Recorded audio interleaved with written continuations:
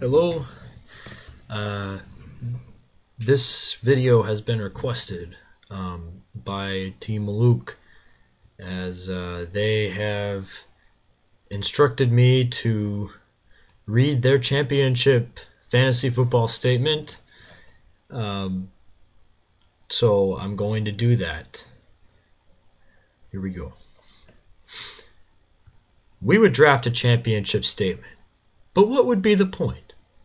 To do so would be to imply that a relevant contest took place. To recap the season would suggest that it was worth recapping. But for those who insist, here is what transpired.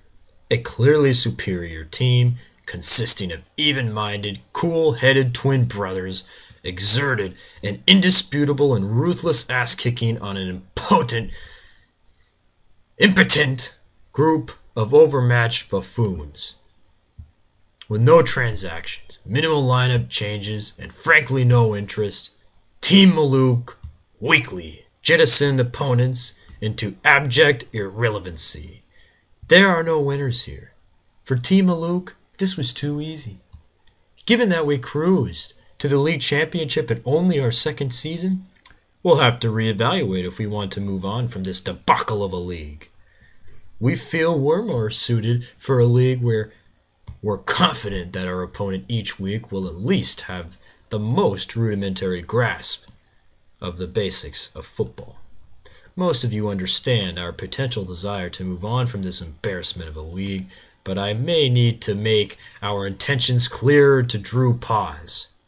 Drew, just imagine Team Mallouk is Rutgers, Syracuse, Pittsburgh, Villanova, Georgetown, St. John's, Marquette, DePaul, Seton Hall, or Providence.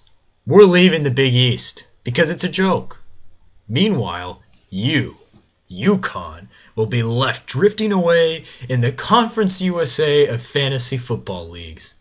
Just pray that we don't take Steven and Andrew with us if we do leave. Um, on top of that, actually, I just got a text from the older Mallouk. Peter Mallouk uh, has texted in. It is his birthday today. Um, but yeah, Mark, uh, uh, he said Gonzalez and Rodgers went bananas in the playoff game um, to keep the Team Mallouk roll going. Um, so there you go. Well, once again, congrats to Mallouk. Um, so there you have it.